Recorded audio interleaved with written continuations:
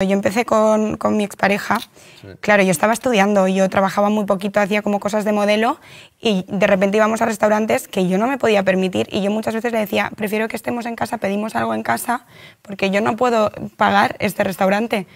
Y, y él en ese momento me dijo algo que ahora yo, en mi situación actual, que económicamente pues me va bien, ahora lo entiendo. Y él me decía, es que Laura, si ahora tú no puedes, yo estoy compartiendo mi vida contigo y yo estoy invitándote porque a mí me apetece. Claro. Y sé que si en algún momento tú puedes, lo vas a hacer Él por quiere, mí. él quiere ir a ese lugar, se puede.